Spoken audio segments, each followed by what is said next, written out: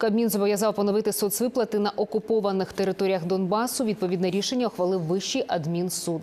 Зокрема, мова про пенсії та допомогу на дітей. Нагадаю, в листопаді минулого року уряд призупинив всі виплати на непідконтрольній Україні території. Тоді в Кабміні заявляли, на той момент виплачувати кошти на території, де тривають бої, технічно було неможливо.